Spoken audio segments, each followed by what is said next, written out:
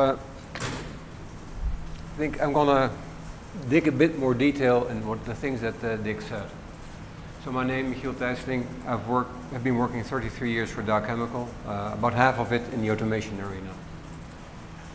Um, right now I'm located in Houston uh, for, since six years and uh, originally I come from Terneuzen. So you can see here a couple of um, things on the slide. One of it is growing Dow's future together. So why do I talk about process automation and, and, and projects? Well, six years ago, uh, Dow started a major initiative to invest in the Gulf Coast area to use the shale gas. Shale gas is a very advantaged feedstock. So we decided to invest heavily in the Gulf Coast area uh, and then basically supporting uh, Dow's future growth. Um, if you talk about projects, what I call a major project is anything. Okay.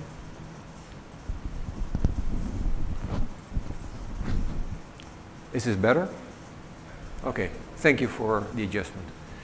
Um, so what is a major project? From my perspective, is everything above $100 million. Um, smaller, of course, if 90 is that a major project, sometimes it is, sometimes it's not, if it's just kind of an expansion. Um, and what does process automation mean here? Well, the system that you need to start up, run the plant and shut it down safely and also optimize it. So that's kind of at a high level. So Dow has invested uh, now $7 billion over uh, 14 plants and I'm going to share a couple of thoughts about that. This is uh, Campus 9. It's, the, it's located in Texas, um, Freeport. And everything in Texas is what? Huge. So it's the biggest. Yep. It's, uh, it's our largest cracker that we operate, and it is close to being the largest cracker in, in, in the world. And if you look at the picture in detail, you see, you know, cars, and you can see how those cars are extremely small. This picture was taken with a drone at uh, 300 feet. Um, you can see, you know, the stacks of the furnaces uh, on the left-hand side, you know, are almost on the same height. Uh, the, those are 270 feet. So this gives you a bit of a, an idea about the size of the plant. The white buildings in the middle, or the gray buildings as you say, that's the cover for the compressors. So you start at the furnaces with your feedstock, go through the compression section, and then you go to the columns on the right, which is the separation section. So this is uh, this process has been around for quite a long time, and now you know you have to kind of automate that uh, in a smart way, right? And this is not one of the plants; it's one of the many plants. The scope was 60,000 IO divided over uh, 14 plants, four uh, brownfields, as Dick indicated, and 10 uh, grassroots. So two very diverse groups of, uh, of projects. And then there are about 140 engineers working on this effort. And for a period longer than five years, and explain a bit more about that. And so if you think about how to set goals for such a group, right? What is it that we want out of this group? Now think about what you've heard and seen the last two days here. You know, open process automation, cybersecurity, optimization, and da da da da. It's very attractive to you know stuff a lot of new thoughts and new ideas into this project, right? Um, and you know, because doing it know, like a project like 20 years ago doesn't look attractive at such a point. Despite all those things, we have actually only two major goals. One is about quality. One is making sure that the uh, interlock system that we have will install is basically without any doubt. So basically it's complete, audited and validated in the field. And the other one is that we have no errors in the software, no bugs uh, that impact the operational performance. The other one is schedule. Um, we want to make sure that we stay off the critical path of a project. So basically, we're not on the critical path, but also if we get close to the critical path, uh, that we have an effective way of resolving that. So just a sh short question here. How many people of you are involved now in doing major projects? Okay. So uh, I'm interested in your, some of your questions. So there's one third item that is not mentioned here. Which one is that? If you look at a project, there's always schedule, quality, and what else is there? Cost. Why did I mention it? Why is it not on here? Hmm? Pick two. Yep, that's one. And why would I choose these two and not cost? Think about that. I want these two, but you know, clearly, but if, suppose if I would take cost as a main driver, right? Either schedule or quality has to suffer. Well, if quality suffers, schedule will suffer, so basically it means that the plant will be down while it's ready to start up. Think about the impact of that. If you keep a cracker that the size that I just showed down for you know two weeks, I've exceeded my automation budget already a couple of times. That's the impact that it has if you cannot run such a plant. So hence, you know, I always kind of tell my project managers, you know, fantastic, you know, do you want to talk about cost? I'm not interested. It's only 1% of your total budget, as Dick indicated. But, you know, I have the power to really keep your plan down. So let's not talk too long about it. And most of them have accepted that. So, okay, so the, the story here is, you know, there's a lot of technical questions, and know, Dick shared some of those with you, that, that you have to answer. Many, you know, how do I communicate with these devices? How do I organize this? Where do I get the resources from? Where do I build my stuff? Da da da da. And I'm the automation leader, so actually I'm accountable for all that stuff. A lot of questions, and there's no way I can answer all those questions. So the trick to doing such a program of 14 projects is basically organizing it well. And by organizing it well, you will be able to uh, execute it effectively. So this is kind of uh, the starting point, and also they shared, hey, where do you start? Do you start with a blank sheet of paper and throw everything that you know from the past away, or uh, do you use some of it, right? And what can you use? So you, you, talk about resources. People have worked in projects before. You talk about your suppliers. Uh, you know, who are your suppliers and how can they contribute to your plant? your best practices, what do you know work well and how are you going to move it forward and then the opportunities. And at the end of a project, and you know we're almost in the completion side uh, time uh, of the program, you again get resources, you get you know your new list of suppliers, your new list of best practices, and then you know some of the opportunities. So I'm going to talk a bit about the four items, and you can see it spans six years. Six years can you imagine working six years on only one effort? You know, for most of it, it's far too long. So that's something that is, you have to take into mind. So the legacy basically is a result achieved by many. Uh, I'm only, you know, one small portion of it. So, uh, uh, so if you look at uh, the people, if there's anything I want you to remember from this presentation, forget all the technical stuff. Be cognizant of one factor, and that's the people factor. All the questions that you have, all those details, they will have to be answered by people, right? The, the people who work on it, the 140 people we're talking about. So it's, you know, such a program is a great opportunity to develop automation talent, but it's also a good opportunity for growing leaders. And so new leaders that basically, and, and, and stretch them a bit, so that you have future automation leads as well. And so if you think about the automation lead, how do we recognize a good automation lead for, for instance, for a cracker? You know, 10,000 IO, how do we know that this person can do it? Yeah, look at the CV. Well, that doesn't tell me a whole lot. So typically what I look at, and, and the organization uh, uh, looks at is, you know, three things.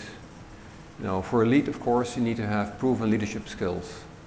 Plus, you work in the technology producing ethylene, so you want that person also to have experience in that same technology. And experience means that, yes, you did some automation there, you understand the, the flow sheet and understand some of the uh, uh, technology.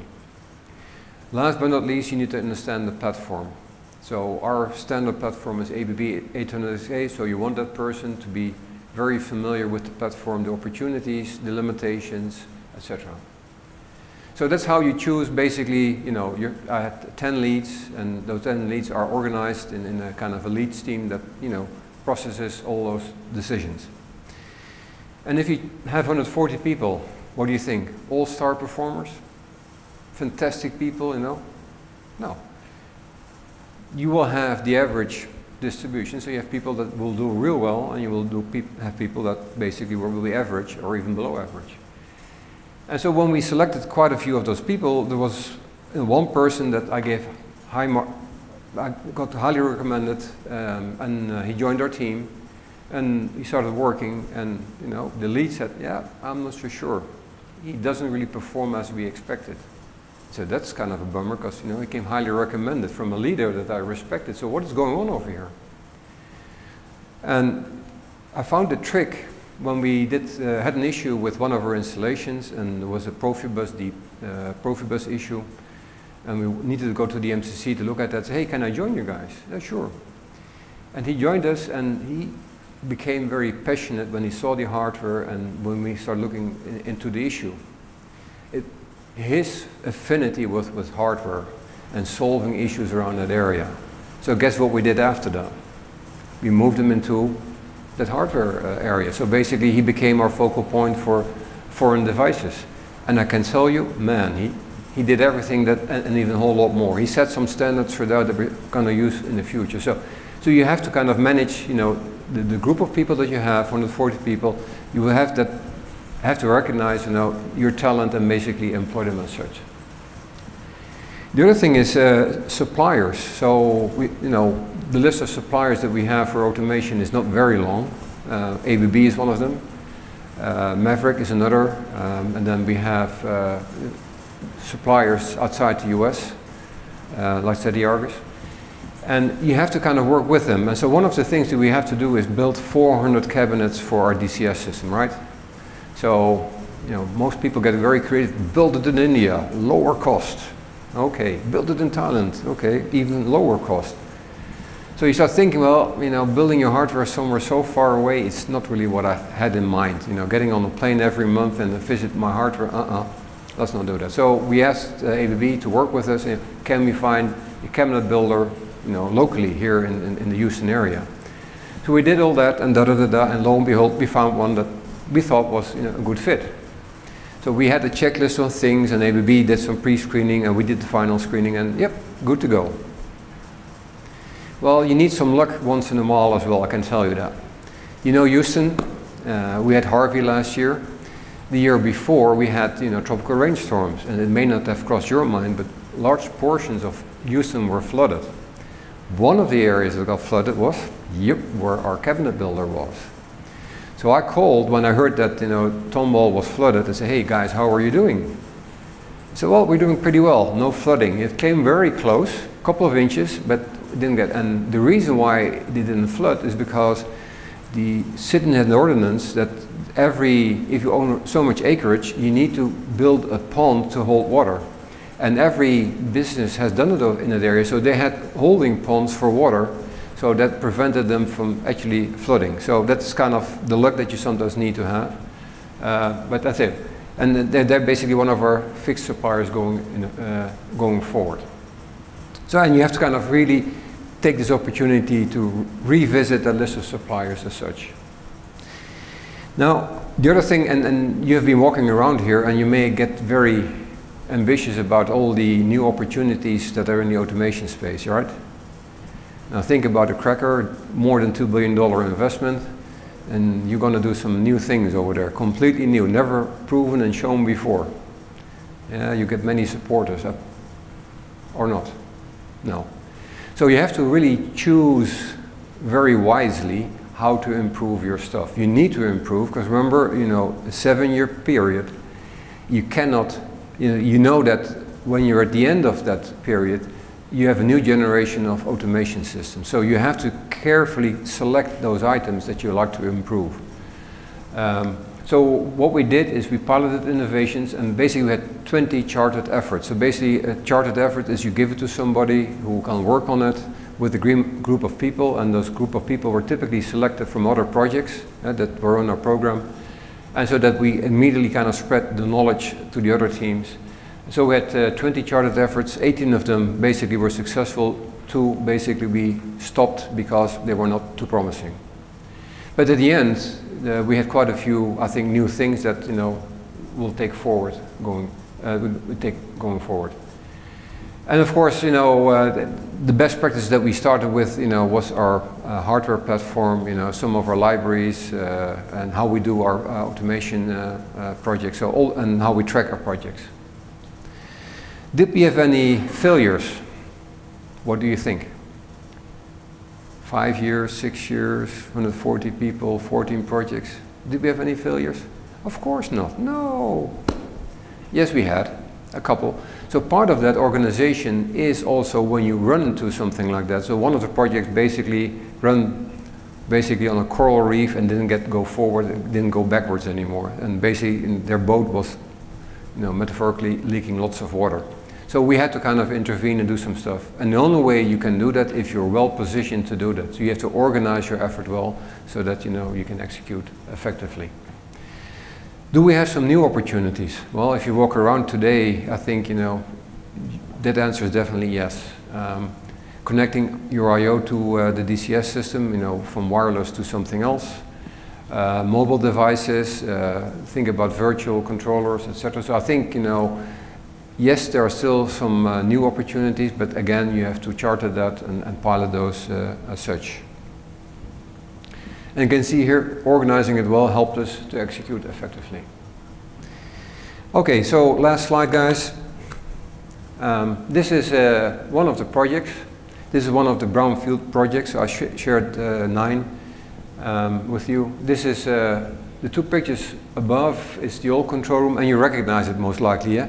A hotspot, a whole kind of systems, uh, screens, and da da da da. And it, it was a mess it was a good old mess. You know, the fact that operators could work there safely said more about the operators than about you know how well we designed it. And basically, we took two weeks, gutted the control room, and basically put a new control room in place.